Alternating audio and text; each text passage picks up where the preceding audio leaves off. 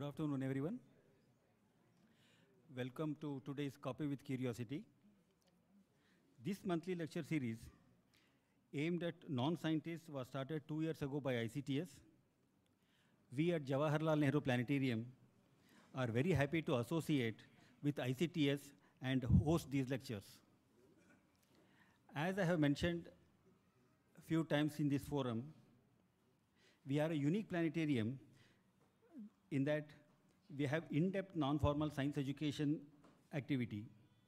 These culminate in a three-year program called REAP, that is Research Education Advancement Program. Today's speaker, Professor Vijay Raghavan, has supported planetarium when REAP program was started in late 90s by Professor Vishweshwara. Sir, the program has become very successful with wholehearted support of the scientific community of Bengaluru. It is very heartening that young scientists from IISc, ICTS, University of Agricultural Sciences are strengthening this program by regularly teaching and interacting with undergraduate students. Number of students showing interest in the program has also seen a big jump. So much so that initial few classes are conducted in this very hall and the class resembles the look of a public lecture. Sir, so far 130 students who have attended REAP have gone on to pursue PhD program. Many have joined premier research institutes as faculty and some are teaching in IITs and universities. Some of these have come back to teach in REAP program. I extend a very warm welcome to you, sir.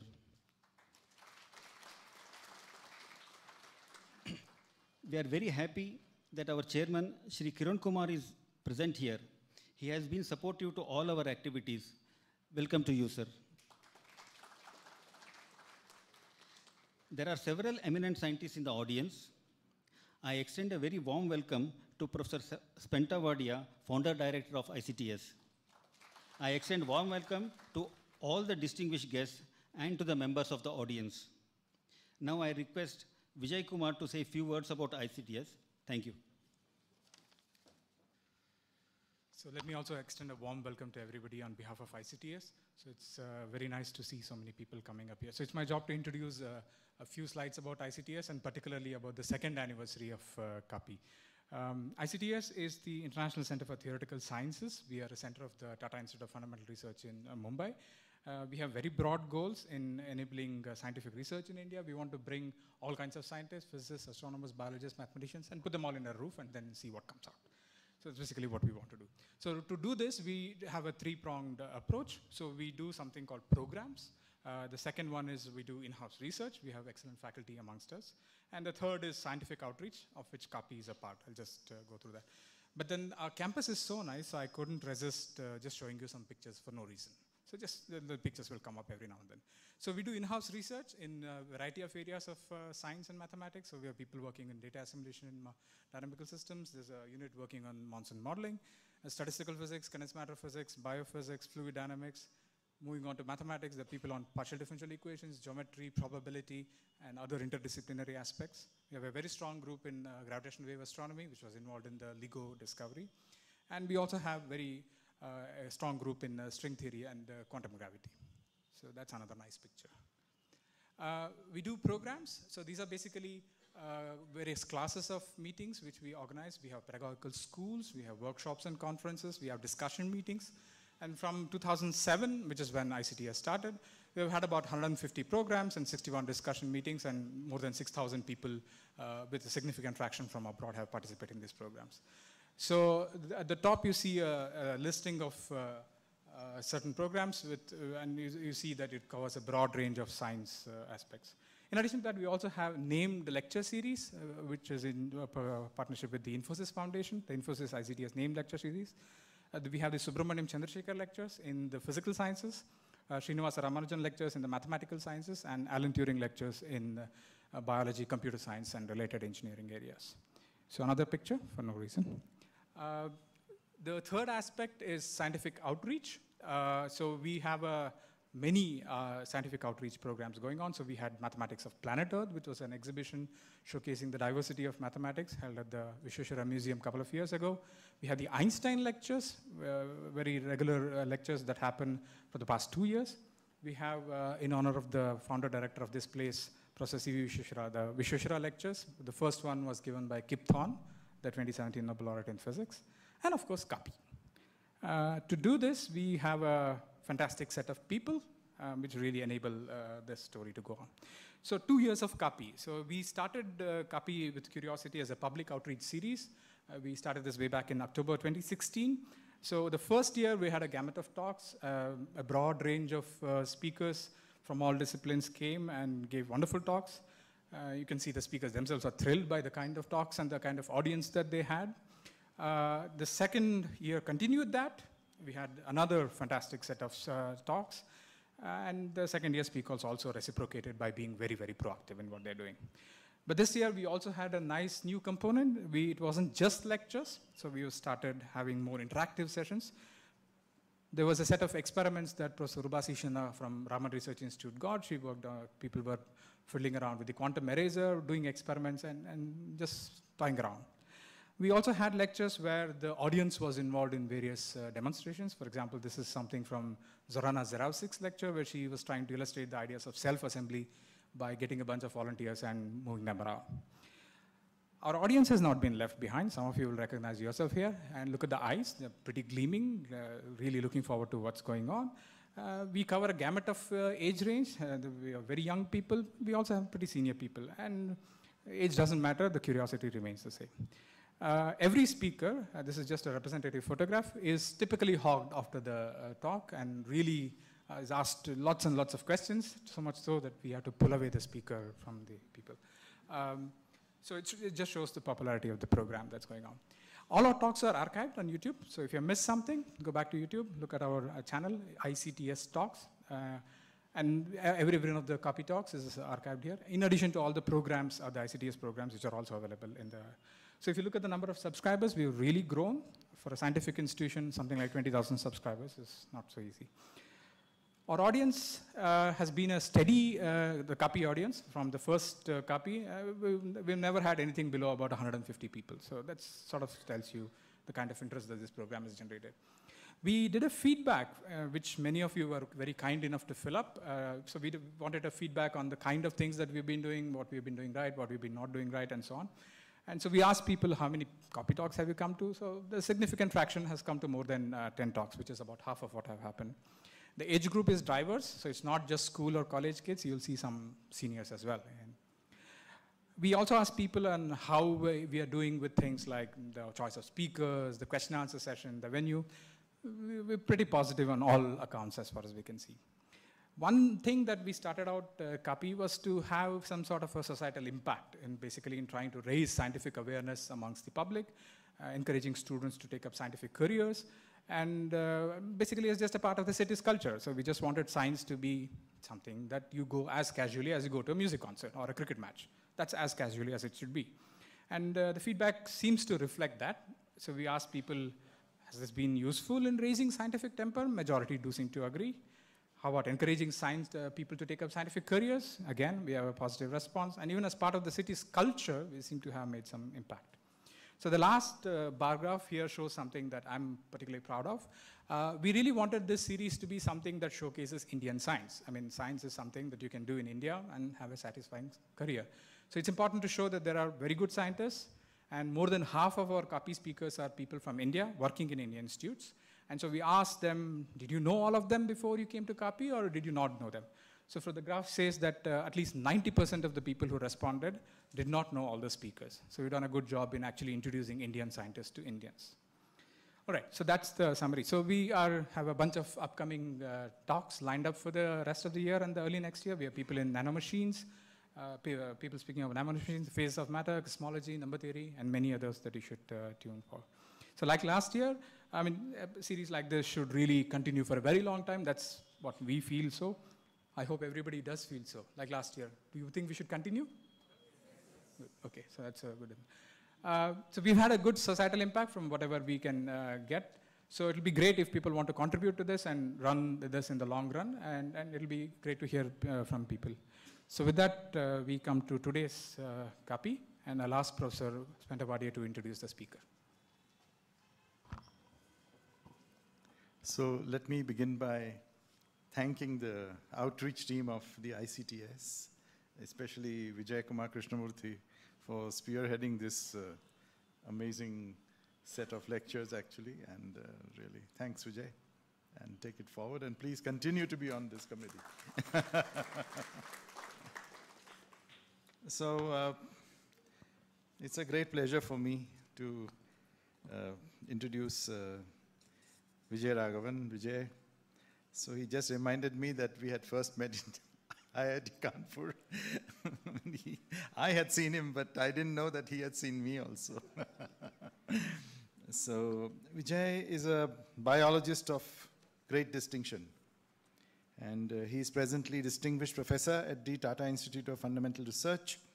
And uh, previously, uh, before his present assignments, he was the director of the National Center for Biological Sciences of TIFR, which he has taken to an amazing level. He took it to an amazing level, actually, for, uh, it was a great inspiration for me and my colleagues when we started building the ICTS, that the NCBS was here. So presently, uh, Vijay is principal scientific advisor to the government of India, and uh, all the best and good luck, Vijay. It's a great, uh, it, it's a great undertaking, and uh, I, I, hope you succeed really.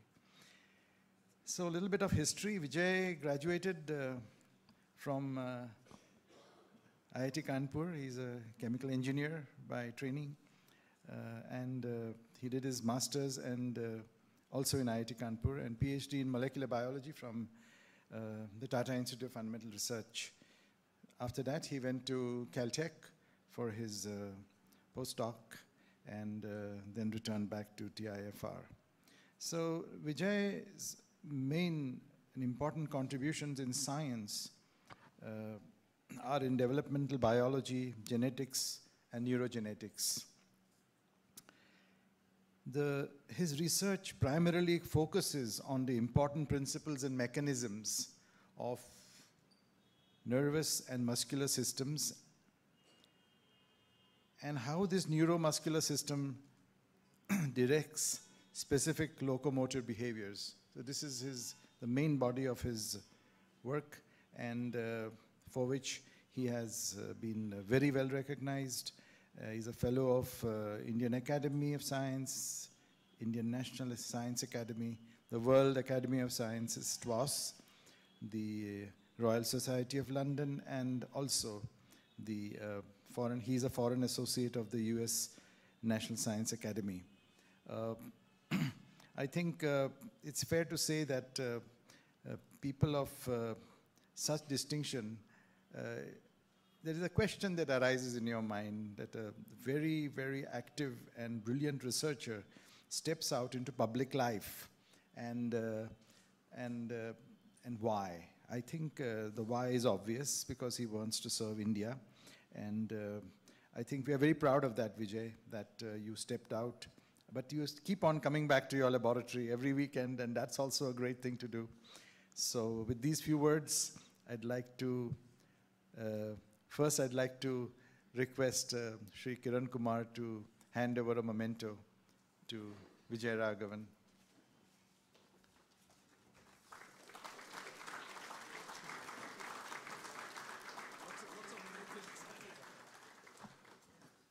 And now, Vijay, may I invite you to deliver your talk, please?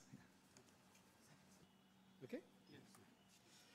Um, thank you very much, uh, Vijay Krishnamurthy and Spenta, the director, Dr. Kiran Kumar, and everyone else over here. Um, it's actually, uh, first of all, I'd like to start by saying how wonderful it is to have this program uh, here uh, regularly, once a month uh, and ICTS and the planetarium should be congratulated for having this program. Uh, we constantly talk about the importance of outreach, uh, but here is an example of people actually doing something about it. And the fact that it's uh, streamed live is absolutely fantastic for everyone except the speaker.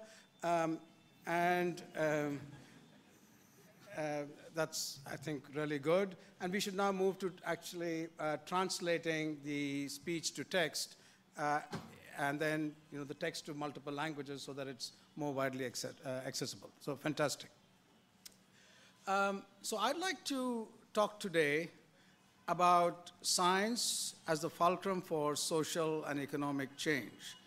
And I'd like to argue that there are very few instances in the history of the modern world where science and technology can have a transformative impact on the planet.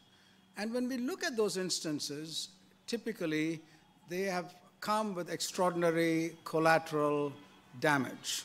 Uh, successes have often taken place by having another who one can exploit, and there are very few examples where successes have taken place in an inclusive manner.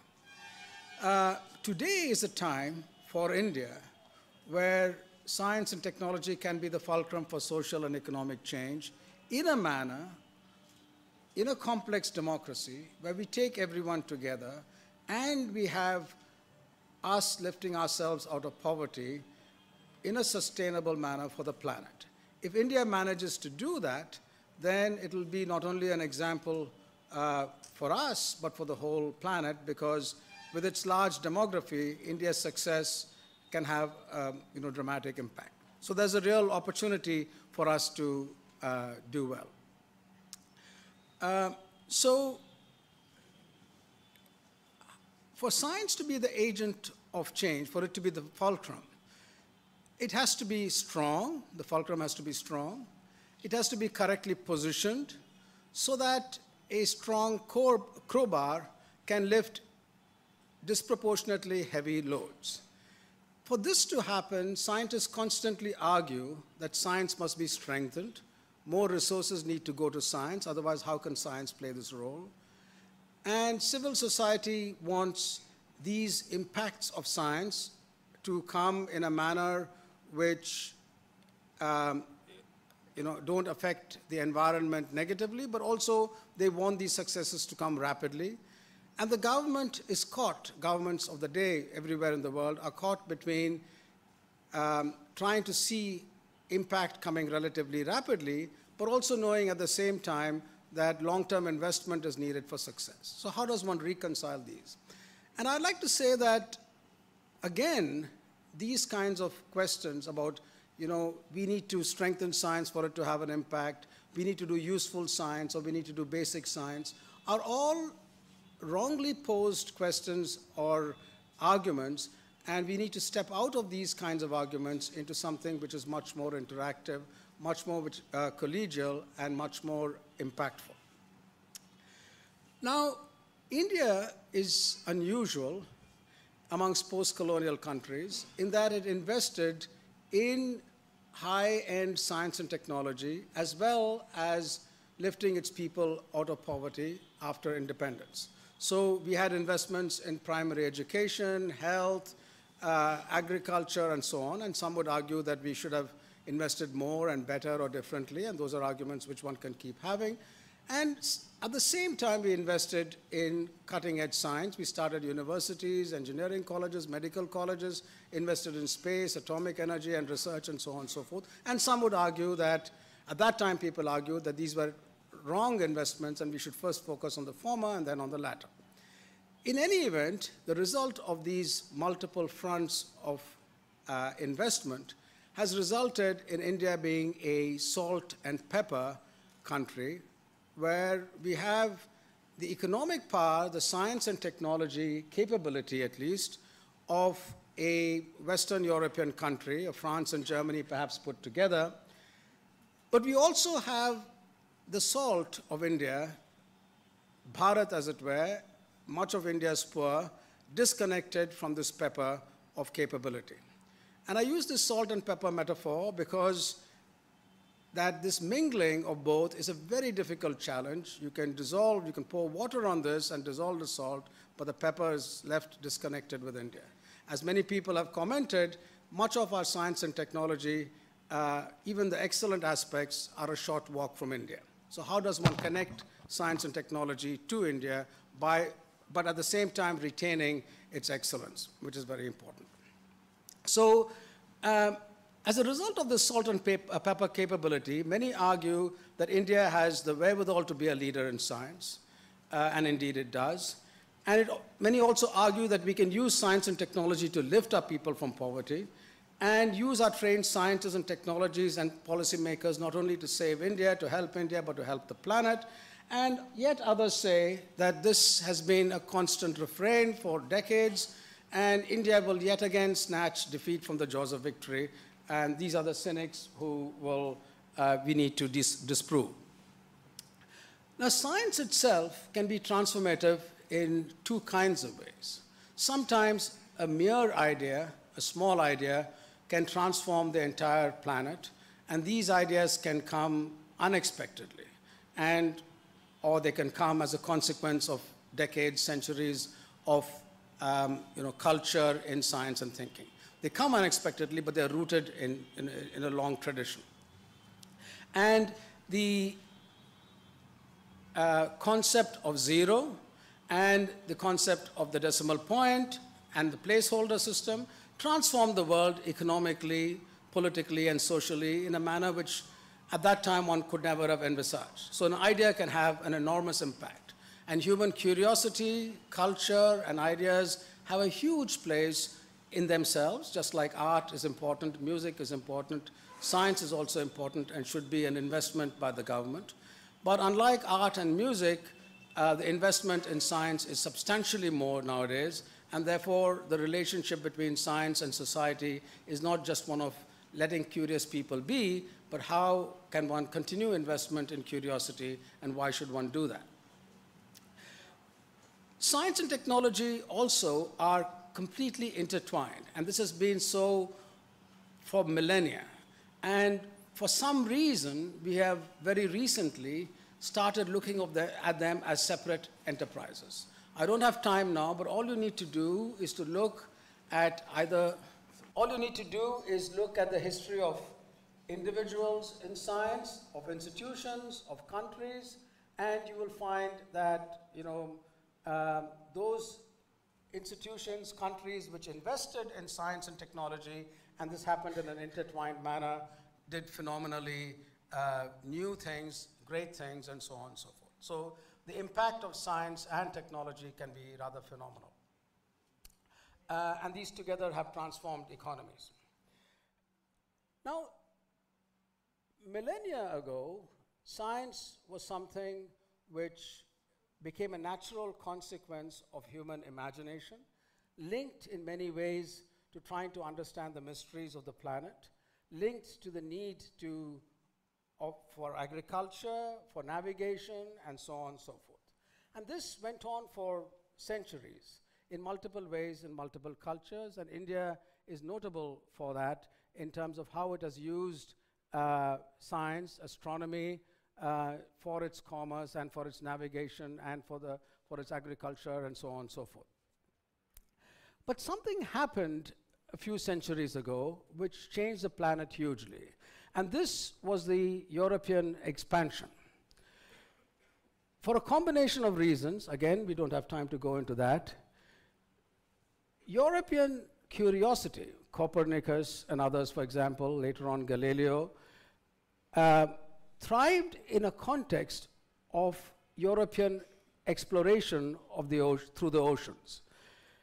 This had been going on for some time, but it started expanding. And this fed back, this ability to explore fed back on trade, it fed back on political rivalries in Europe, it fed back on the expansion to set up colonies all over the world. So the Dutch, the English, uh, the French, the Italians, the Norwegians all started exploring the world and claiming different places as their own.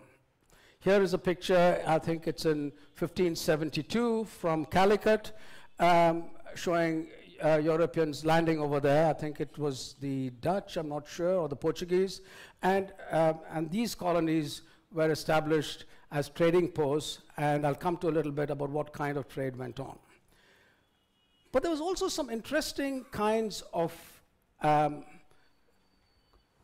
inputs which came from Europe.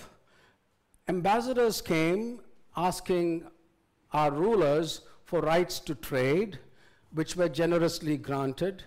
And these were the proverbial thin end of the wedge, which resulted in the growth of colonization in India. So here's a picture of Sir Thomas Roe in the court of Emperor Jahangir, and Roe and Jahangir became good friends, uh, and that resulted in trading rights not only in Surat, but the expansion of the East India Company, and the consequences of that is something which we know. Japan, about that time or a little later, took a very hard view against anything, anyone foreign, regarded all European inputs as barbarian, and took an extreme, um, the other extreme viewpoint of not having any interactions at all until much later in the 19th century during the Meiji Restoration, and we'll come to that. The Dutch explored Africa and the East Indies. That's a Dutch flag, not an Indian flag. Um, and in the East Indies, they went all, what is, what is called the East Indies, they went all the way to what's now Indonesia and beyond. And they also set up colonies on the east, uh, on the west coast of India, in Malabar. And one of the Dutch uh, governors, Van Rheede, wrote a book in Latin called the Hortus Malabaricus, and it was compiled over a period of nearly 30 years. It documented all the uh, fauna and the flora of um, uh, that region, interviewing Vaidyas uh, in Kerala. And this book, this, this 12 volume set, is amazing because it has got a description of all the flora of the region, uh, along with drawings of the Vaidyas and texts in Malayalam, in Arabic, and in uh, Latin. And this was translated by K.S. Manilal, who's still alive, and not very well, unfortunately. And these 12 volumes are, are extraordinary um, example of the details of the earliest explorations of science by Europeans in India, which resulted in an explosion in the spice trade, then went back to Holland and resulted in Linnaeus and his documentation of all of uh, flora, and, and that taxonomy led to a whole lot of other exploitation of plants for medicinal purposes and so on. So this was an extraordinary uh, uh, interaction, which is symbolic also of the European expansion and its success, both in trade and in colonization on one side, and through science on the other, but also symbolic of the neglect and the poor connect of Indian science and technology in many aspects to our well-being and our economy, both by our citizens uh, and our scientists on one side and by our rulers on the other. And this was a decline which was possibly there many, many years, uh, centuries ago, and continued, or at least didn't uh, stop and, and reverse direction. Japan, as I mentioned, during the Meiji Restoration in the mid um, 19th century, decided to unite all its warring shoguns and have a central structure which on one hand took great pride, some would say disproportionate pride in their country and their uh, central organization and the emperor, and on the other side opened up hugely by a set of treaties to Western technologies and science. And this resulted in an extraordinarily strong base from mid 19th century onwards uh, in Japan of science and technology. So what one sees today as a success of science and technology in Japan has a very old basis. Another Asian power, China, was also had a strong tradition like India in science and technology, more so in technology, one would say, than in science.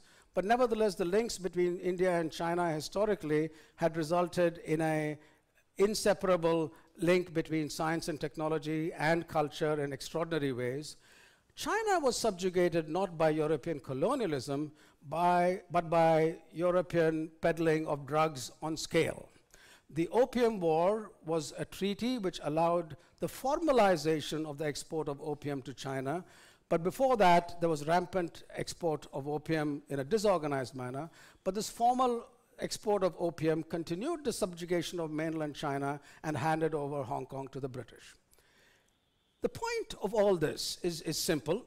it is that you have a situation where the extraordinary growth of Europe economically, socially, and politically, which we see up to the early mid 20th century period, was done by a use of resources from the colonies, material and people, and by an unlimited supply of fuel to the engine of economic growth.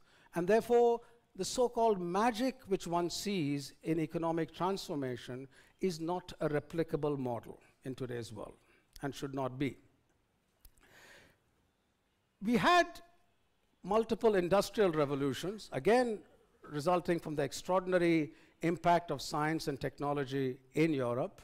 The first, second, third, and what's now called the fourth industrial revolutions all have their center in Europe, America, and partly in Japan and Korea, but dominantly in Europe and America. so this is the uh, a, a, famous loom in, I think, in Manchester or somewhere, or in Germany, um, a machine hall. And it's important to keep in mind that these kinds of technologies, which allowed the mechanization of production, were done by combining metallurgy and mechanical engineering and later on electrical engineering in a manner which resulted in huge machines which powered industrial growth. And much, much later, decades later, centuries later, these kinds of machines still are dominantly made by Europe and later America.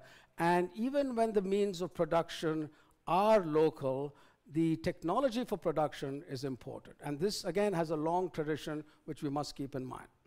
So we had, as I said, and we are now in the fourth industrial revolution. The first industrial revolution resulted in the coal and the steam engine driving production, and that production was fueled by raw material from the colonies. The second industrial revolution resulted in gas, oil, and chemistry being the fuel of, uh, you know, of, of growth and production. But that also resulted in the colonies being used wherever factories were set up over there as sources of very cheap labor, but also of market produce which came back from uh, the West. On the left is Mokshagundam Visvesvaraya, who during the Industrial Revolution in India led the placement of technologies uh, in a pioneering manner in Mysore state and elsewhere. And such scaling up of technologies in India was very rare, and this is an unusual example. So we didn't, again, in terms of state power, did not or could not grasp these technologies at a foundational level. Later on, in the 1960s, nuclear power and electronics dominated uh, the growth of industry. And there too, while India did invest in nuclear power, it didn't invest substantially in electronics. And the growth of the electronics industry in the West dominated consumer um, uh, purchases all over the world. And India became uh, a reluctant purchaser of electronics rather than a manufacturer, uh, a situation which uh, Taiwan and Japan and South Korea managed to change, and China too managed to change later.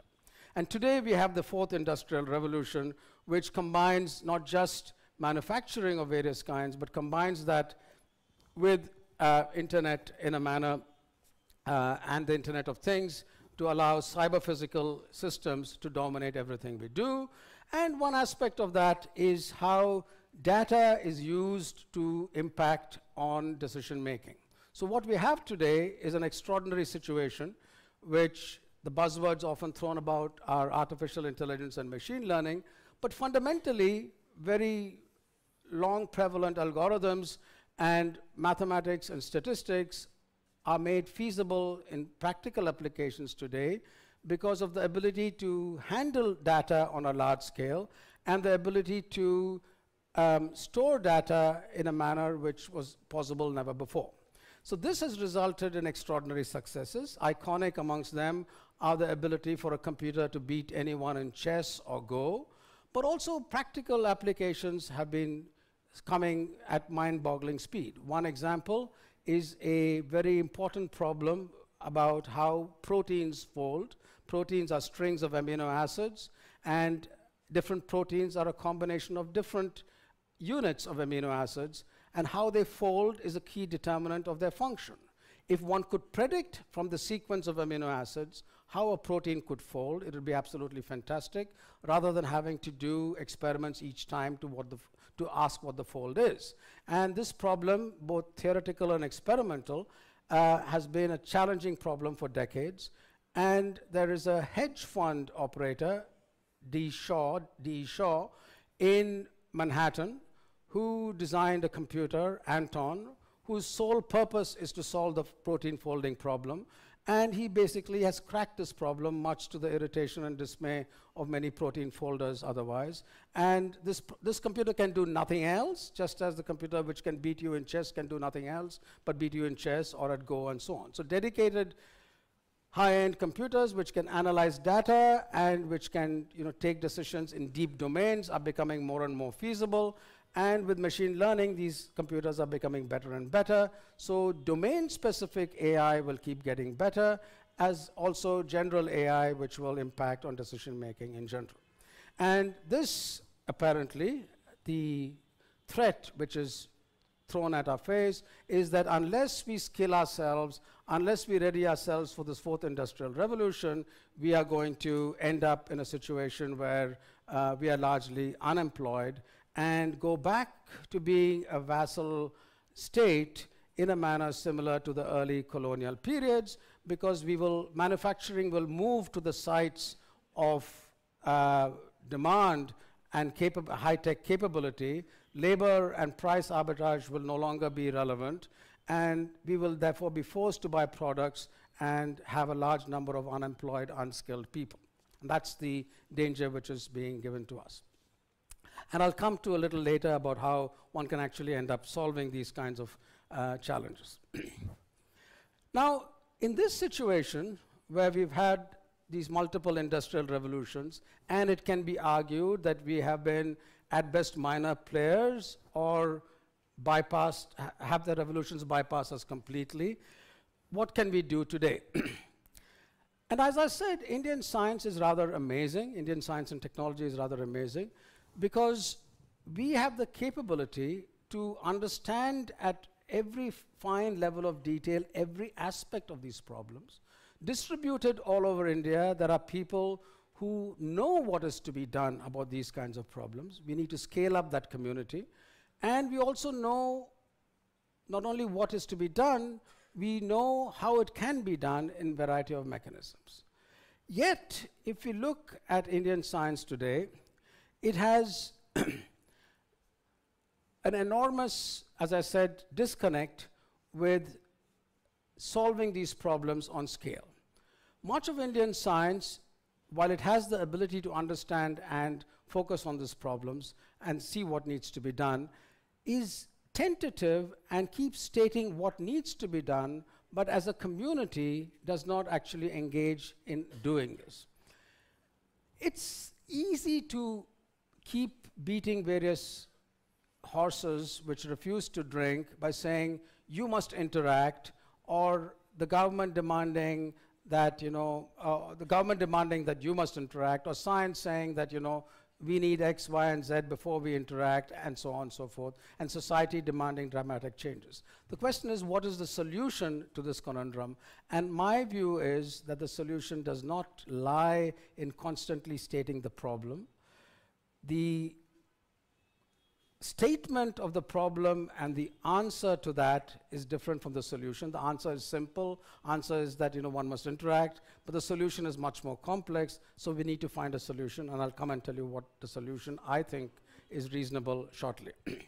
So science has got enormous capabilities but it does seem and the view is that it's extraordinarily disconnected and there are exhortations for it to be connected and i think that's not sufficient society has a different set of viewpoints.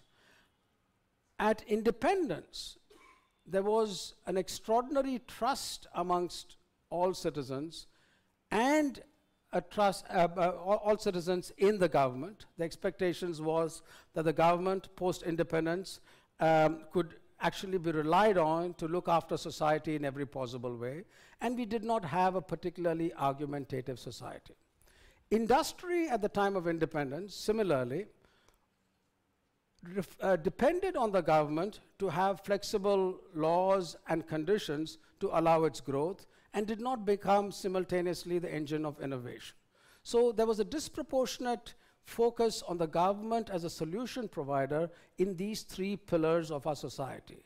Uh, uh, of India, that is society, industry, and the government, civil society, industry, and the government. Subsequently, what happened was something in- interesting.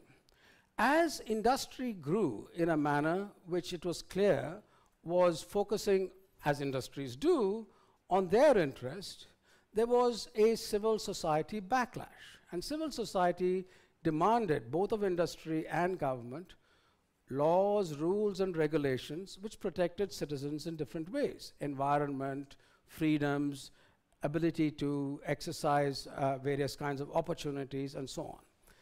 This has resulted, over the last few decades in particular, extraordinarily valuable laws which protect citizens and give them a variety of rights. Corresponding to that, we have neglected the other two pillars the role of industry and the proactive role of government in exercising responsibility for the population, with the result that we have got rights on what needs to be done, how much education there must be, how much health there should be, how much various kinds of freedoms there should be, how much opportunities there should be, without actually having an engagement on developing resources and foundations which are needed where these rights can be exercised. So we have a situation where our practice of our social obligations does not have enough opportunity as much as our laws say that they should have. So we need correspondingly a responsible growth of industry and a responsible aspect of government in a variety of sectors health, agriculture, industry, and so on. And in my view, both these are now happening, and therefore these three pillars will become equally strong as opposed to being one or the other disproportionately strong. For that to happen, we require, again, science to play an important role, and I'll come to that. So, the third pillar, science, society, the third pillar is industry. And industry has uh, enormous uh, challenge in India, but we must not underappreciate its successes, just as we must not underappreciate the enormous successes of science or of civil society. Indian industry in many sectors is very powerful both nationally and globally and has provided jobs on scale. Our public sector and our private sector have been extraordinarily uh, transformative, and you just have to see Bangalore as an example of how that has had an enormous impact. Um, by industry, I would include uh, major ventures such as BEL, HAL, the Space Research Organization in Bangalore, the Defense R&D Organization, as well as private industry. And private industry has made India, for example, uh, world leaders in generic drugs uh, and in vaccines, and these are not to be underappreciated. For example, a few years ago, um, there were, I think, 200 million doses of a meningitis vaccine which India made and exported to Africa, saving enormous number of lives. Um, the HIV drugs available um, at uh, cheap prices, again, are a major Indian achievement. Uh, and Indian manufacturing is, is growing very rapidly now, and Indian industry in every aspect is doing really well, except that it is not competitive in these current times of the fourth industrial revolution and the challenge is how, that, how can that come about. So just as Indian science knows what to do, its foundational ability to be a strong fulcrum in doing it needs a challenge. Indus- Indian industry also needs to be truly innovative.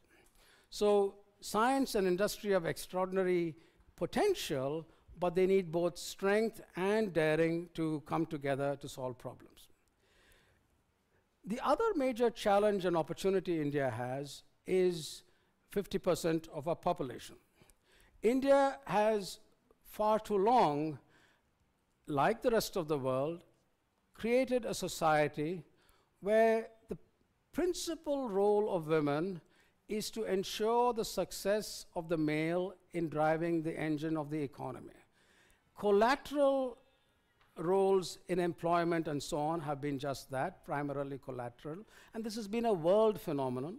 India is unusual that in 1947, when we became independent, we had the right to vote to everyone, unlike other countries in the West, which took a long time, were discriminatory against women for a long period, and the right to vote and other rights for women came about legally in a slow process. But the legal rights are one aspect. Practical rights and opportunities need to be broadened. That needs to happen, and that needs both a cultural and a structural change, a lot of which is happening, and this is a fundamental issue which needs to be addressed squarely. Components which allow more flexibility to women at the workplace, uh, better job opportunities, um, you know, and so on are important. They're very important, but fundamentally, there needs to be a change in our economic structure which makes women an equal partner rather than a subordinate partner in the workplace. And that is a global problem, and India can show the lead over here. There's another problem and a challenge, and this is the final set in my list of industry, civil society, science, uh, women, and now it's India versus Bharat. This is the salt and pepper metaphor I alluded to. For much too long, the elite in India have looked at opportunity and possibilities linked entirely to their purpose in a manner which essentially ignores a substantial part of the country. This is a very dangerous trend which can result in social structures breaking, and that must be reversed now. And in many ways, technology today allows that reversal in a manner uh, which was never before possible, and we must grasp that. And that's why I said lectures such as these, other you know, reading material in science, literature, uh, in technology, in medicine, must be available to everyone in a bilingual manner. You should be able to open any text and read it in your language as well as English simultaneously so that you are not disempowered just because you're not facile with English. If this changes, then people will not only know their rights, but will have the opportunity to exercise them in multiple opportunities. And that's a major thrust which we are embarking on, and that needs to be pushed amongst all sorts of other aspects, looking at our economic growth within India and not only as an export possibility. So in this background, when we know what needs to be done, when our science and technology enterprise you know, is so evolved that it can understand any aspect of science and technology, when our industry has the capability of linking with science, with academia, and going ahead in a daring manner, when our society's demands are self-evident and there are key people in society, leaders, who understand how these two can be linked for societal development, for the development of women, and for the rest of Bharat, what is stopping us? This is the final um, sort of question which we need to carefully answer, and all of us need to be part of the solution. What has been happening, and this has been happening for decades, is all of us who are the elites, and remember that any one of you who gets a scholarship is in less than the 0.8 or 0.1% income group in the country. We, we are extremely uh, disproportionately um, staggered country in terms of income distribution. So all of us over here and in similar contexts have an enormous responsibility. But most of us, with notable exceptions, and you know, the notable exceptions are very important, as a group, as a community, we have become expert at articulating the problem, but not necessarily being part of the solution. When asked to be part of the solution, we point out whose responsibility it is to actually solve the problem. It's the municipal corporation or the state government or the central government, the systems and so on and so forth. But just as there is a distribution inequality amongst us, just as we need to become better and better scientists, and we are not the best scientists, our median quality needs a huge improvement. The same is true of every other sector in the country. Just as we find our institutions could be run better, that we could do our science better, that we could work in teams better, and we don't because of a variety of internal limitations, so too with other sectors. And therefore, rather than point out what others should do at an absolute level, asking them to perform at peak excellence, if all of us work together, then a combination of imperfect capabilities can actually result in something which is much better than perfect. And that's something we need to understand. We also need to understand that in terms of decision making about what to do, the approximate is often better than the perfect. Let's get started on common ventures. We may not all agree about what to do, but as long as we apply machine learning and artificial intelligence to our own tasks and learn from them, we can error correct. We can go in one direction and decide, oops, this is not the right way, let's go in another direction. And we should work together. Therefore, we should, when we point out errors made by others, we should allow room for discussion and changing of views.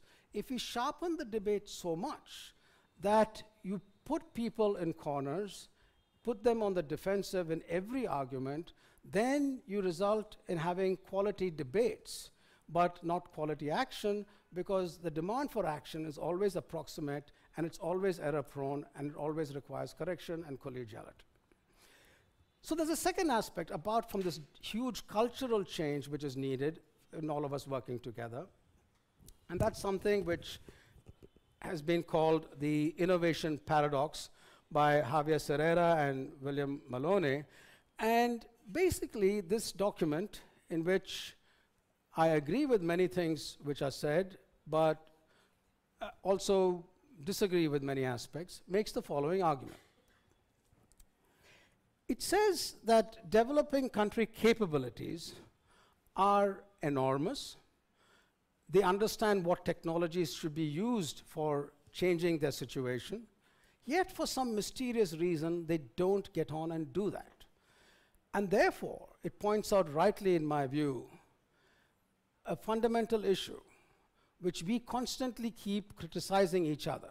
We say, why is it that Indian scientists, for example, one hears this, do, don't do well in India, which I think is wrong, uh, but many people say that they don't do well in India, and when they go abroad, they do brilliantly. Why is it that we were at the same level as X or Y or Z country, South Korea or China, 20 or 30 years ago, and why haven't we moved? And as if that somehow a mere change of will and working together, both necessary, are sufficient for change. This study argues that that is not sufficient. It makes a very interesting point, which I think points, shows us the reasons for early successes in India and the complexities we face. It makes the point that when you're far from the goal of the highest end science and technology being used for social and economic transformation, then it is relatively easier for you to start meeting successes. So if you don't have a health system worth the name, if you don't have an engineering college system worth the name, or a medical system worth the name, or a space program at all, or an atomic energy program, or a basic science program, then getting started when that end is far away results in extraordinary and notable success. But as you go towards the next step beyond that success, you have institutionalized structures from the passion and the drive of early innovation. And that institutionalization has meant, and this is not true just in India, but in every economy in the world, has meant that a tension in taking decisions of a kind which discriminate between what should be done to reach that goal as opposed to the range of possibilities which are there. And many countries go into gridlock, having discussions or having multiple kinds of approaches, but not taking decision making to go over here. I pointed out economies such as in Europe and North America and how they grew. In today's world, for the growth of our economies of, to that scale, in a democratic country where there are huge problems about global uh, or planetary level uh, changes in climate uh, and uh, the consequences. The success in solving this innovation paradox puts a substantially important role on the heads, on the hands of the government. That is not to say that you should leave it to the government to solve these problems. That is only to say that you are the government, right? And this is the contrary we must get out of. We must understand that we are the government and we must you know, take our steps in this very complex situation about decision making and be a part of the government in decision making. In other words, as I said before, the atomic, there are times when science has had transformative impact on the planet. The Manhattan Project, the A bomb, and the H bomb are examples. The Industrial Revolution, which is again exploitative in multiple ways, are examples. But in today's world, science as a group can actually have this transformative uh, impact on public good. And we need, therefore, not a Gandhi or a Nelson Mandela. It would be absolutely fantastic to have one driving this. But we can't wait for that to happen. It's not, it's, it's not something which will magically happen. But all of you are a tenth, a hundredth, a thousandth of a Mandela or a Gandhi, and all of us working together can actually have this transformative effect. And this is not an idle exhortation. This is actually immensely feasible in a peculiar manner in India, as in no other country, because of the very structures which we have developed over decades. So, what is to be done? We make the mistake very often by answering this question at the level of the individual. And then we take it as a threat to individual freedom to do what we want to do because something very important has to be done. A war has to be fought, a victory has to be achieved, and therefore all of us must drop our interest in algebraic geometry and you know, go and fight this war. Nothing could be further from the truth. We must pursue every interest we have with the fullest passion and not neglect it at all. But we must simultaneously ask what is the level of abstraction? What is the level of granularity where we decide what is to be done, right? It, and how it should be done and who should do it. In my view, the level of abstraction in the context of Indian recent history in the context of what we have achieved in Indian science and technology is actually the city. And one such city is Bangalore. If the top institutions in Bangalore, if our the Indian Institute of Science, all the other institutions, the medical colleges, the engineering colleges in Bangalore, in addition to doing whatever they're doing, decide that they will be the engines of social and economic transformation, there is nothing to stop them from influencing the state government and the central government over a monthly, yearly, decadic time scale to have a transformative impact. This is very, very feasible, and this doesn't involve the change of any of you doing what you're doing, but it involves an institutional change in terms of attitude. Now, how does one get about that institutional change? And again, one needs to look at it a little more carefully. It's, not, it's all very well to say institutes must take on responsibilities. If these institutes get together, Karnataka can be transformed, and if Karnataka is transformed, the entire country can be transformed, uh, similarly, and so on and so forth. We need to overthrow an attitude about what and who scientists are. For far too long, we have created a cultural view of scientists as academics and nothing else. So scientists are not just academics, they are responsible as policymakers, as engineers, people working with society, but fundamentally, as some of my colleagues here in Bangalore have said, scientists are citizens first and scientists next. The only people, the only category of people who have the luxury of analyzing a problem and going on to analyzing another problem are journalists. They're very valuable, they should do that, and that's their job, to do it well and to be critical. But everyone else here needs to, in addition to being a good journalist, must also be, before that actually, a good citizen. And that requires us to promote, push our institutions to create structures which are at the interface. Just as ICTS has created a structure in which their academics lead in this interface, have a small but dedicated set of people who are involved in public outreach. The Indian Institute of Science, the National Center for Biological Sciences, the JNC, the Raman Institute, NIMHANS, other institutions need to get together and create a set of people whose principal job as, as a real job, they are paid for that, they have real opportunities, is to create jobs in a sector where scientists become entrepreneurs, scientists become policymakers, scientists become economists, scientists become agents within the government of the state and the center to solve problems. It's not sufficient to say what needs to be done, we should be involved in the execution of every aspect of this problem. This is eminently doable, and indeed, the countries which have led economics and, and growth all over the world do that. If you go to an ecosystem at Stanford or MIT or Caltech or in Japan now or in parts of Europe, there are huge components which are involved in this kind of an interface. And therefore, becoming a professor should be one small component of your future as a scientist amongst many other equal or sometimes even more important components. And that's an attitudinal change which we are trying to push, and I think it's very important for all of us to have. You can be a superb algebraic geometer as well as a policy person, but that's your choice. But at the level of the institution, there will be enough people who are dealing with the interface without messing up the long-term growth of the institution and its deep domain expertise so that that investment in basic science, in the fundamentals of knowledge continues and prepares us as insurance for the future. So both can, must, and will coexist. How long will this all take?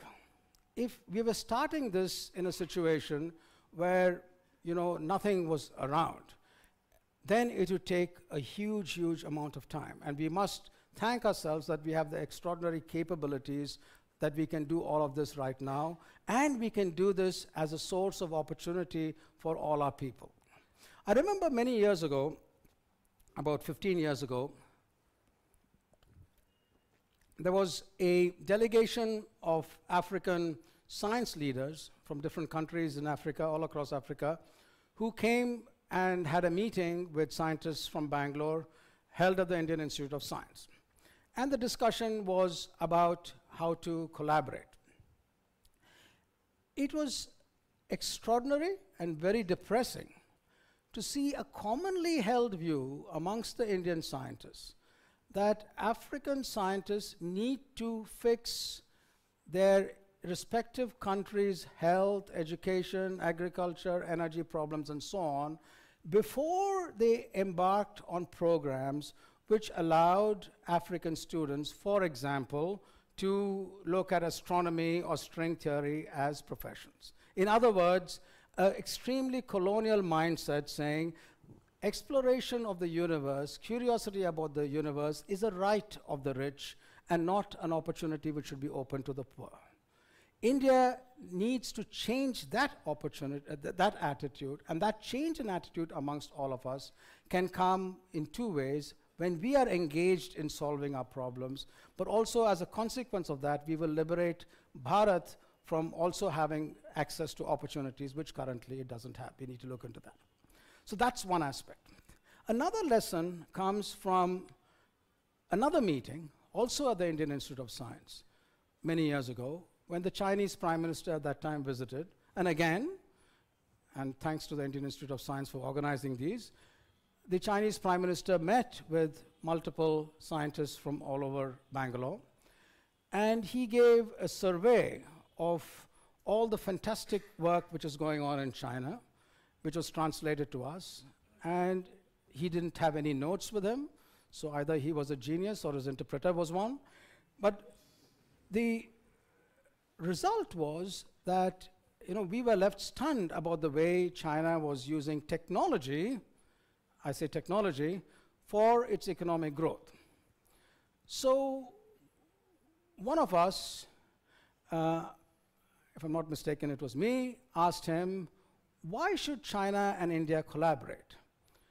To which he replied that it's very important that there be a bridge between knowledge and power, implying that China had the power to use the consequences of knowledge for its upliftment, and India had knowledge. And this was a respectful view of the historical idea about India as a source of knowledge, but it was also a slap on the wrist pointing out that you have not had a tradition of transforming this knowledge into technological development, and you haven't taken courage to do that, which we have.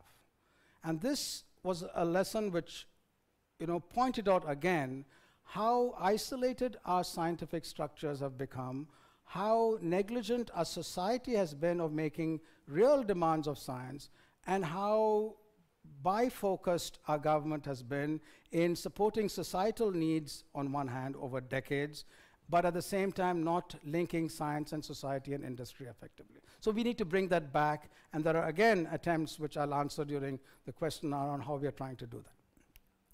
So science as the fulcrum, I'd like to end, of social and economic change is something which is happening and will happen as long as we share a common purpose for India and Bharat and the planet.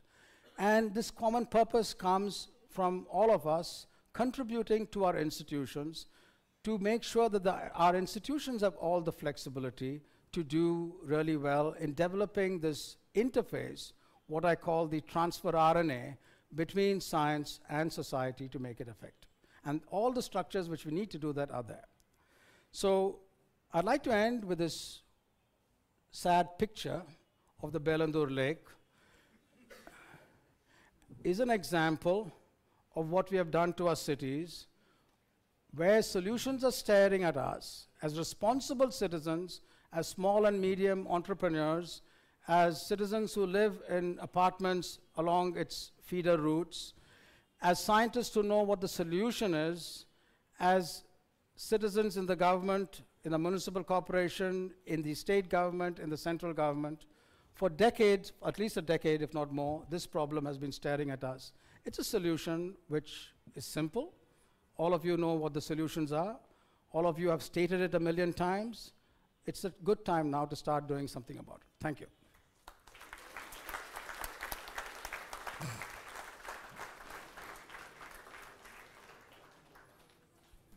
Okay, uh, so I guess uh, I hope you're willing to take questions. Sure, Uh, sure. Thank you, sir, uh, for the talk. Uh, you talked about the history, how science did in economic uh, change, and you also talked about the perspective it can do. So, can you give this some examples that are going on right now um, as uh, to raise enthusiasm, I would say, uh, that what's happening right now, how uh, whatever you are suggesting somebody is doing, say for example, one, one example is ICTS, this talk that is happening. Other examples where uh, not just a talk, but the real work is happening in that direction. So um, there are two aspects. I'm sorry, uh, your name, please? Akshay. From? Okay, it'll be good if when you ask questions, you also give your background. Uh, it's useful for me and for everyone else. So Akshay's question is, are there examples of how we are reaching out to link science and to society and to action? And of course, what's, what ICTS is doing is something very important and admirable, and that needs to be done on a rather substantial scale in terms of science communication. And I won't get into details, but there are ways by which such communication available globally can be reached out to people all over the country. Technology is but one component, but quality teachers are the other. And that's something which needs to be scaled up in multiple languages. So there is, for example, a major new venture which we've decided uh, upon in the previous meeting, the first meeting of the Prime Minister's Science, Technology and Innovation Advisory Council to push for all of these kinds of lectures and more and uh, av available in our uh, individual languages across the country. But there's another aspect relates to these kinds of situations, such as the Bellandur Lake. Another initiative which we're trying to push is to take national institutes such as the IISc, central universities, IITs, and so on, have them partner with state government institutes, and adopt a major sentinel site. It could be environmental, it could be social, it could be applications of technology, it could be electric vehicles, and so on, as a long term mechanism of engaging with society around us in a pan institutional manner, not just for training, which is a component, not just for understanding what our environment is like, which is important, but actually to solve a particular kind of problem. So the Bellandur Lake is one example. And another example, I'm just coming from IIT Kanpur a few days ago. They're working together with the leather industry and with other colleges to see how a significant stretch of the Ganga can be purified, uh, can be cleaned in a manner which is consistent with all the challenges which industry may, uh, meets and how what does one help solve this problem. So taking these kinds of approaches, both in you know, environmental problem solution, but also in terms of frontier science and technologies is something very feasible and can be taken on at the multi-institutional level. Other questions? I'll let you decide who's to. Sir, good evening, sir, and good evening, everybody. I am T. Parashiva Shetty uh, from art uh, background, but it curiously interested in science awareness among the students. Uh, uh, thank you for your good uh, lecture, sir. My problem is for uh, last two, three decades, we policy makers, our students and citizens, all of us, looking out for major things. Looking, adopting West, he said, feel as a development. What are the policies now before the government, making Indian people, looking within us, because India is a country of uh, rich heritage, science and technology adoption. But unfortunately, we are not giving any importance to our solving the, for every problem, we are looking at the problems, problems uh, solved by the West. For another day, I was read a paper, as some Mexican city has solved the traffic problem. They went there and uh, made a survey of the uh, arrangement, they made it. But they are not looking, not considering the advice of and the local scientists, institutions. This is our problem, sir, major of the things. Because one thing, when we look in, within us, ISRO and space, two in, uh, institutions, made us proud, solved many of our, s- space and uh, uh, these problems. Because I'm, my request, uh, you, you guide the young uh, citizens, uh, scientists here to lick themselves for, for the solving the problems. The major thing is we're looking for everything, for, for pen technology to satellite technology. Do you want to?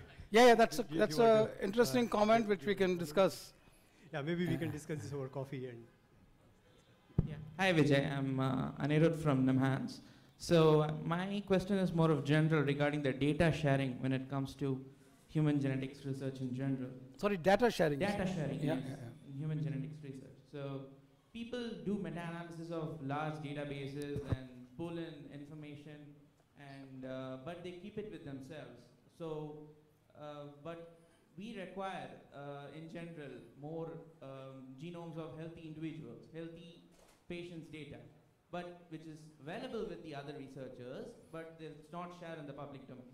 So, as a community, how do you think these problems could be regulated or addressed? If you could do some words on this. Yeah, well, this is um, bit. Um, it's a very interesting question. It's a bit, as they say among students, a bit off syllabus, but uh, I'll still answer it. I'll still answer it because it's very important. Um, in general, in terms of data sharing in science, we are not as collegial as we should be. We don't lay down formal mechanisms, and therefore we invent informal ones depending on the context. So that needs to change. There are lots of efforts on changing that. There's also the likelihood of a bigger scale Indian genome project coming, which will have to address that. Um, the other real problem which is the elephant in the room, in my opinion, is the quality of the data itself. There are two reasons why people don't share data. One is because the rules and regulations are not in place. The other is that the data is of extra- extraordinarily and embarrassingly poor quality.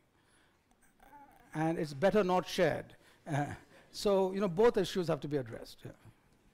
Uh, hi, my name is Aman. Uh, I'm a software engineer. Sorry, Uh, sorry, sorry. You're? My name is Aman. Yeah. I'm a software engineer. Uh, so I'm really intrigued uh, you, when you talked about community and how the 100th and 1000th of each of us can actually build something really amazing. So, and I'll kind of connect this to, because I'm a software engineer, I see a lot of open source software. And as a developer, I can contribute a small software and actually build a really amazing software along with a lot of uh, other people. Uh, but this, so this is really amazing. And uh, I was intrigued by the idea of that we can actually move this to not just to the software world, but actually much beyond that to our communities in our society and in different different ways. Um, so my question is that uh, I see that institutes can play a really amazing role there, but what about as a civil uh, person, what I can do, uh, how can I be part of those communities, how I can build those communities, what kind of questions I can ask, and, and, and so, and Yeah, so on. yeah, yeah. So thanks, Aman. So uh, Aman's question is, you know, first of all, I didn't mean that one hundredth or a thousandth of you. I meant that you could be a tenth or a hundredth of a Mandela or a Gandhi. So it's actually a substantially greater challenge to you than, you know, just a, a hundredth or a thousandth of you.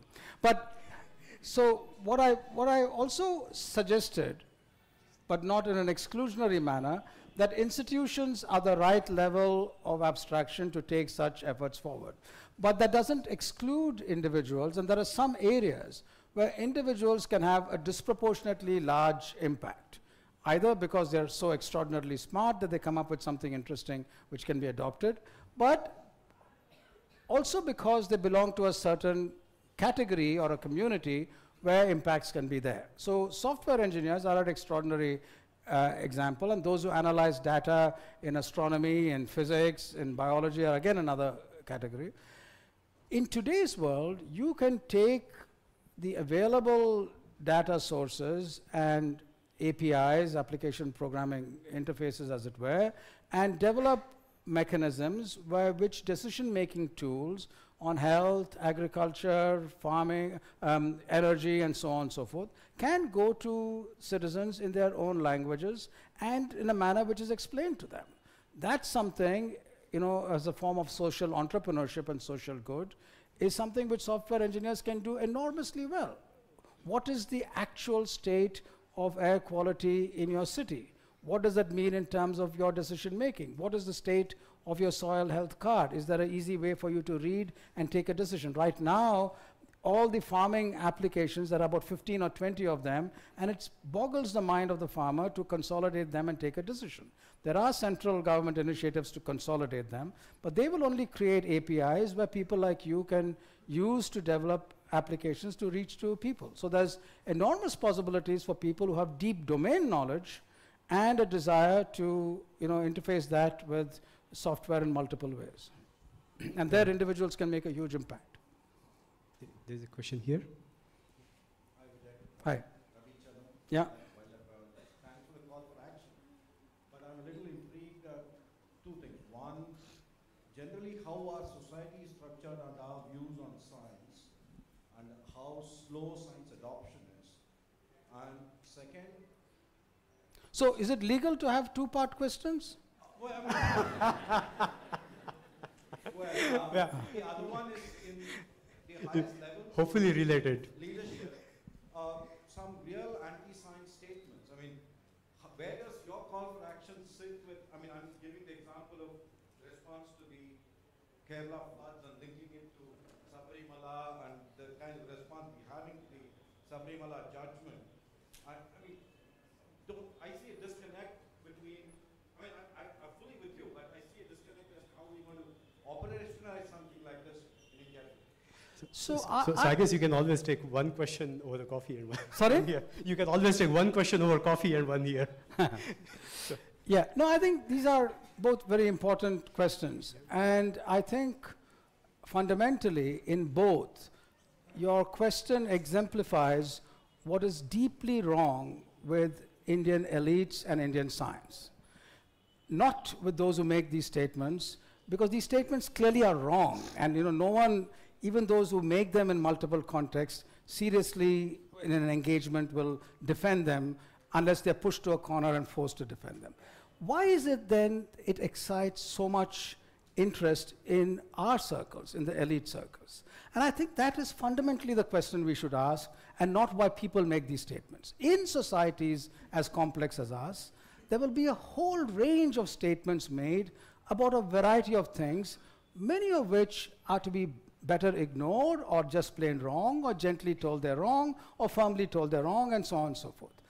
But our journalism and our elites, people here, seem to think that that is the only statement which is made. Let me take the example of the Science Congress. There have been you know, several science congresses over the last many years. The Science Congress is, first of all, an event which is organized by the Science Congress Association. It's got nothing to do with the government. In the Science Congress, government representatives, the Prime Minister and others are invited to give a talk. Also, the Science Congress gets hundreds of papers submitted from all over the country, and all of them fall into a curve of quality, few excellent, few okay, few many bad, many really bad. If you look at the Science Congress analysis in the press and amongst our journalists and amongst us, the only thing we seem to talk about is this end, but not at the whole data. As scientists, if you were writing a paper, if you were to cherry pick data and not put it in the bigger context, it would not be a paper which is easily accepted, right? But here in journalism, a clickbait headline is accepted. That's journalists, that's fine, it's their business. But us as scientists spending time, as I'm doing now, on a discussion like that and not solving problems is not correct. Just let it be, get on with it.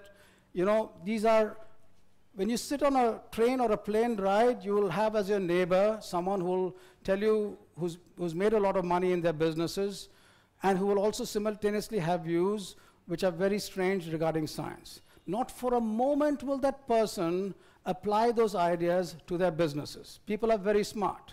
Just because they have ideas which are contradictory to what we hold in terms of their articulation and in terms of the perception, doesn't make them any less valuable in, in, the, in a broader context. And in this room, talking about rationalism and so on, I would bet that a great majority of people are believers of various kinds. So it's possible to hold multiple kinds of views in the same brain as long as you know, those don't impact on decision making in specific contexts. And indeed, I don't think they have, despite all you know, noises to the contrary. Uh, question here. Hello, is it always? Yeah, you, uh, can we have her first? Not necessary for me.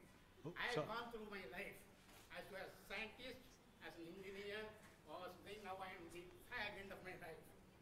I wanted to ask you, after going through all these problems of what we know the problems, what the solutions are, still we are not able to solve some of the fundamental uh, solutions of environment, clean air, and everything which is available with the, all the minds are available, but things are not happening as it should be.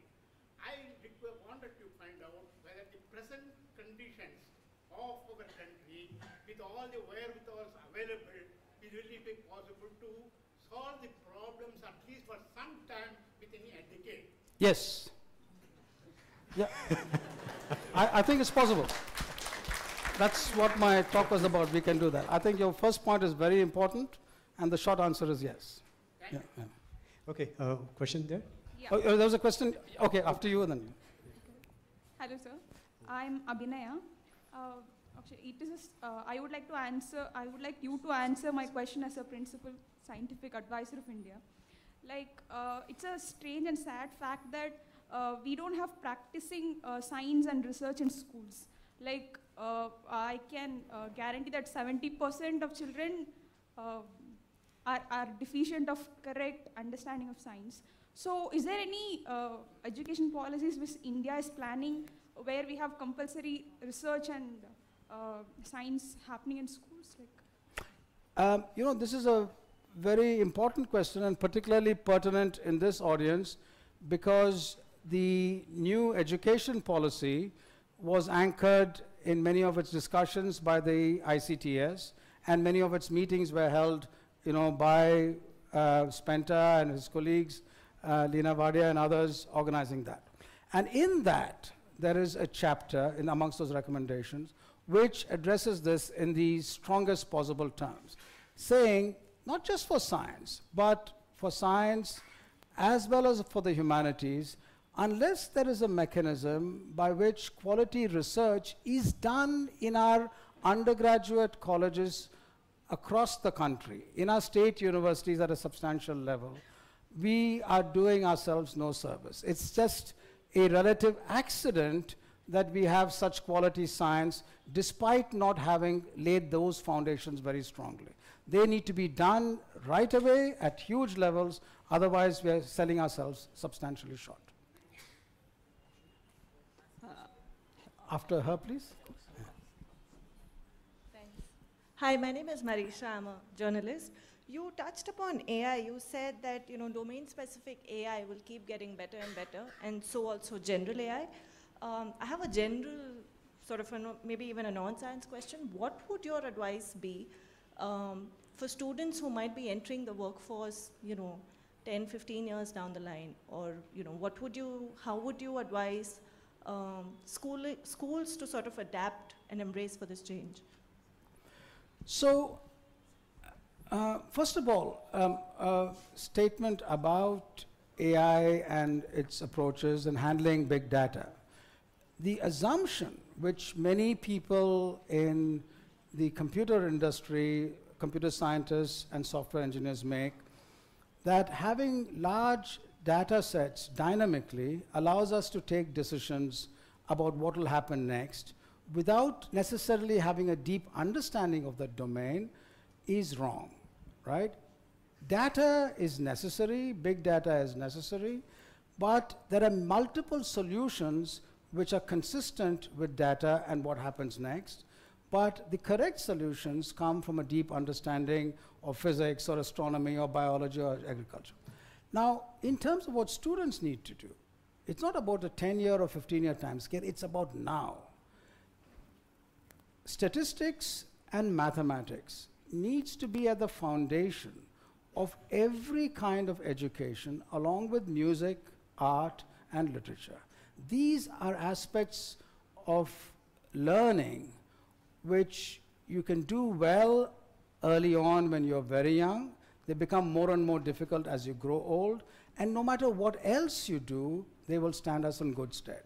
So our education system must stress the value of arts and mathematics substantially. Then we are set. We are prepared for any eventuality, right? It's a great insurance against anything.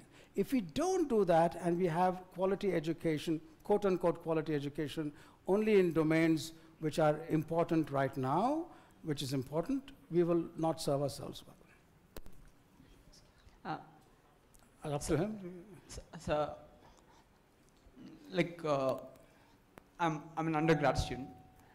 Uh, mm, mm, mm, mm, mm, mm. As a person who has a lot of uh, politicians in my family, I find it very hard to talk to them about uh, im- important ma- matters. Like, uh, like, uh, like, I find them being engulfed in uh, highest order of hypocrisy imaginable. Like, uh, I'm really curious, like, how uh, you uh, uh, sort of navigate through that. Uh,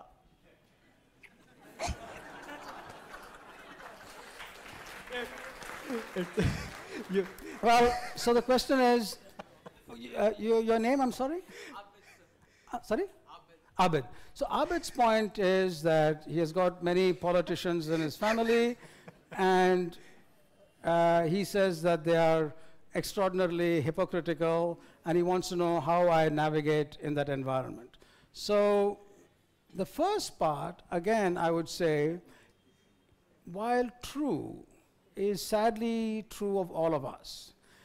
All of us, to greater or lesser extents, are hypocritical. We lead personal lives which contradict our public statements. We are flawed, right? And so is everyone else. So the first step is to understand that such flaws are not uncommon. The second is to ask why are such flaws there?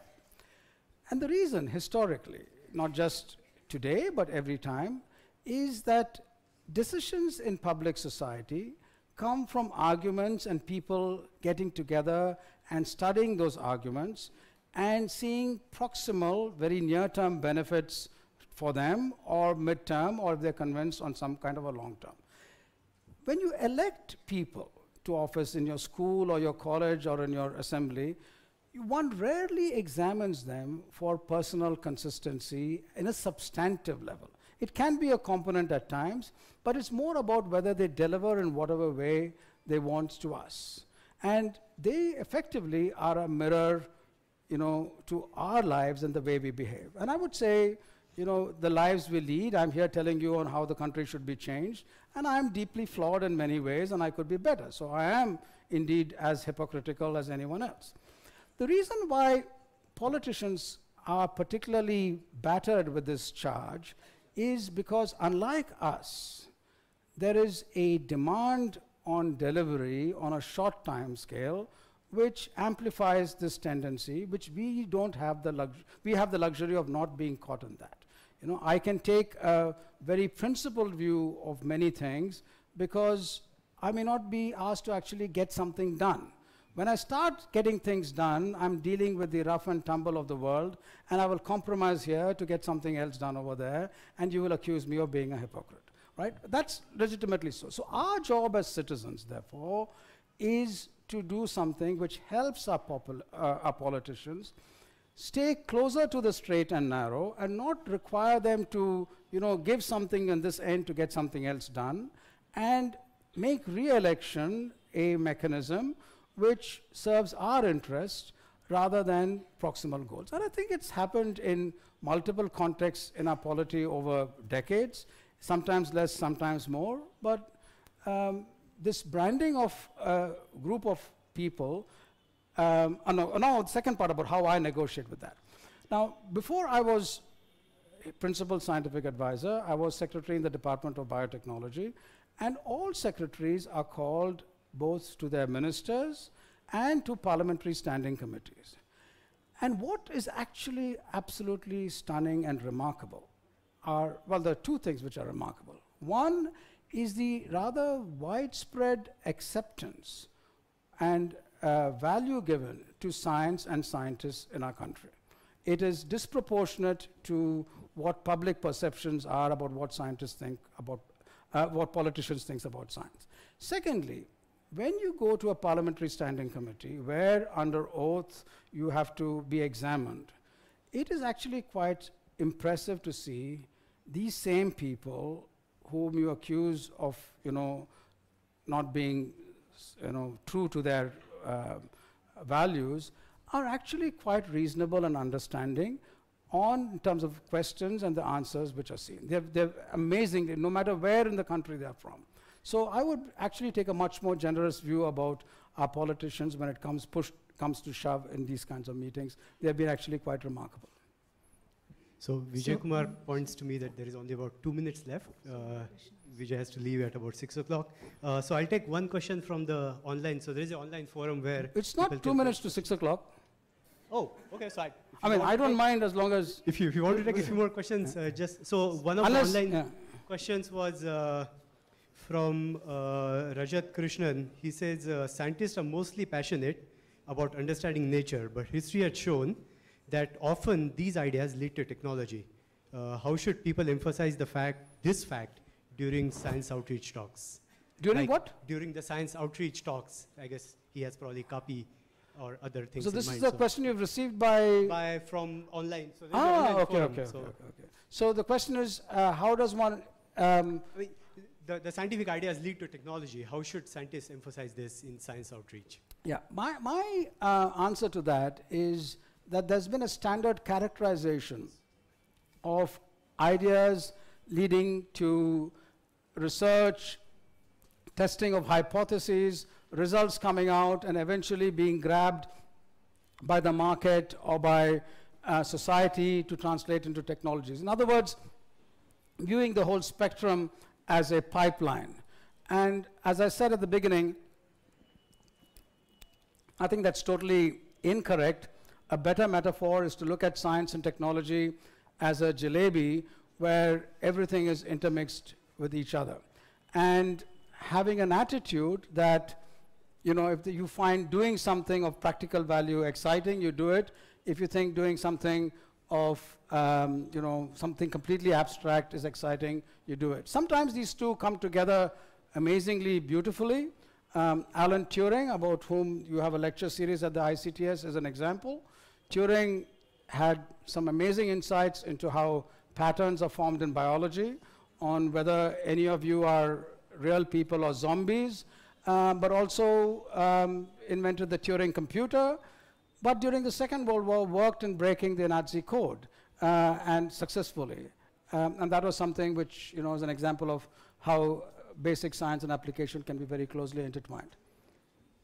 Hello, sir. Uh, there is a question. Uh, one second. Uh, sorry. So, Hello, uh, Vijay. So it was really interesting that you brought this pertinent topic uh, today. So my name is Anirudh. I'm a graduate student in chemistry. I, my main question here is, uh, you know, we you call this the elitist, uh, elite group, right, in terms of income point. Sorry, I didn't get the last part. Elite group. So the rest of the population has, in the villages has been untouched in terms of technology.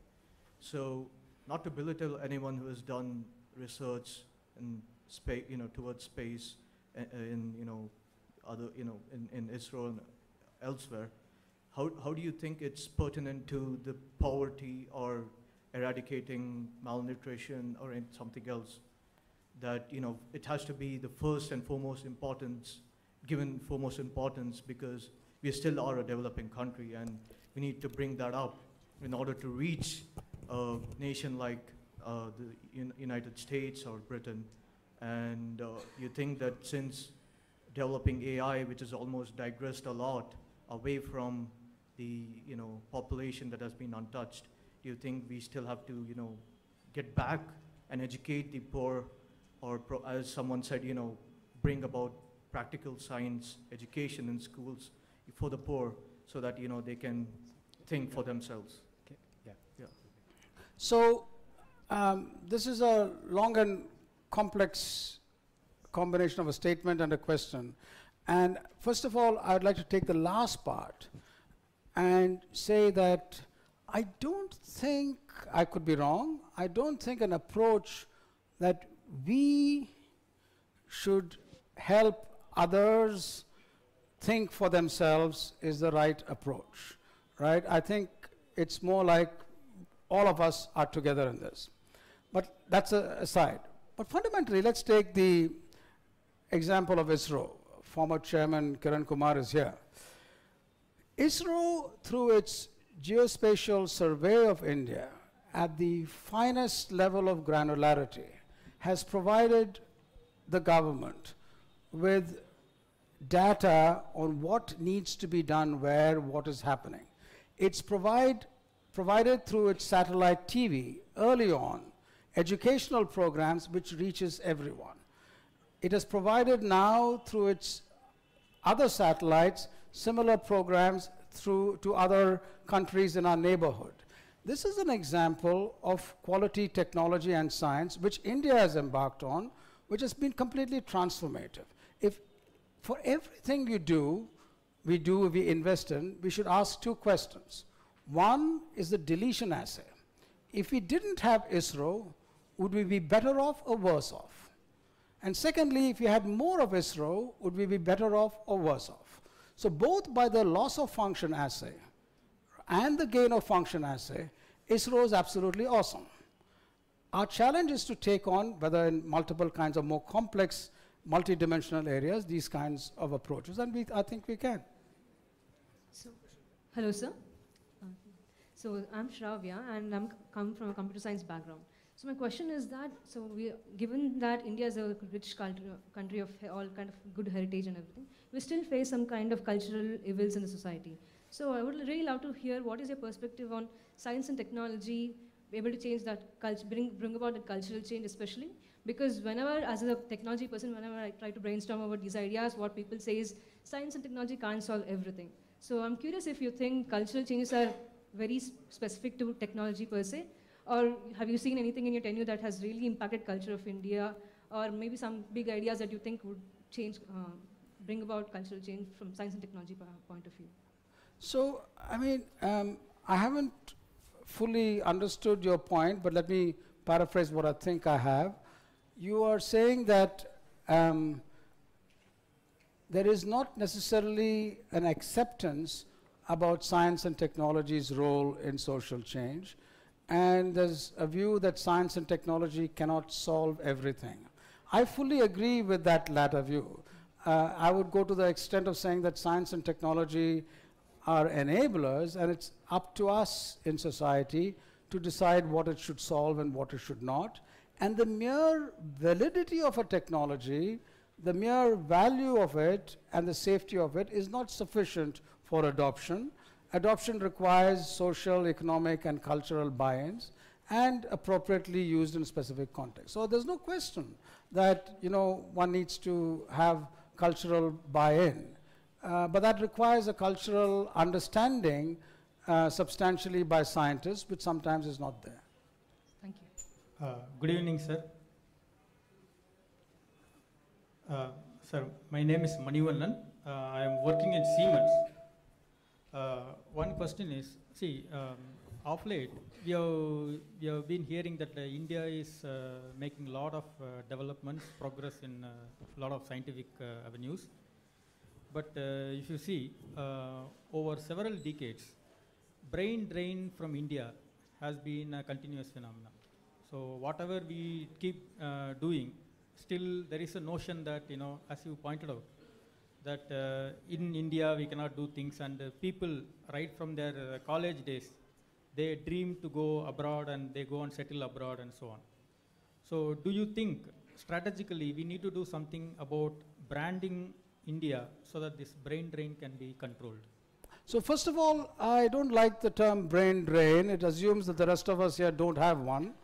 Uh, No, I'm not saying Uh, that. uh, what I'm saying or- is or diminished. The, people with, uh, you know, the, the cream of the people, they generally tend to. Or that assumption that the cream is no longer here maybe wrong. Uh, or, or the even greater danger that people will come back in large numbers and we don't see any consequence of that. That could be uh, another danger.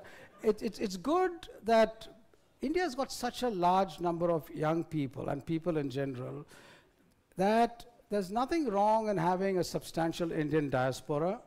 There's nothing wrong in having many of us staying here. There's nothing wrong. There's nothing wrong in people going from Fiji to Tierra del Fuego to Australia to North America, wherever. It's it's one world, and one aspect of it is getting the best talent of Indian origin and otherwise to come and work for India. That I completely agree with you. We need a change in our institutions, in our environment, which make it welcoming of people of any nationality, including Indians abroad, to come and work here. Much of American physics, just before and just after the Second World War, was transformed by an environment which welcomed people of all nationalities there. America's huge success in science is in no small measure due to a welcoming environment, not just by its science and technology sector, but by society as a whole towards people who are talented from everywhere in the world. So that's something which we need to work on substantially and have that feasible in all our institutions. Yep, thank you. Uh, question there? Yeah. Oh, Sorry. Yeah, go ahead. Uh, good, good evening. Yeah. Sir. Can I ask? Ma'am, excuse me, I'm just so like you, just last question. So by the way, I forgot that the six o'clock deadline included the Kaapi. Yeah. So, oh, okay. So that. so, okay. so, so we should I mean, wind up. That's why we should uh, maybe last two questions. Uh, sorry. Yeah, go ahead. I, I know there are at least eight hands. I, I know who have asked. There's just not enough time. Sorry. go ahead. So I'm Varsha, and I come from a renewable energy background.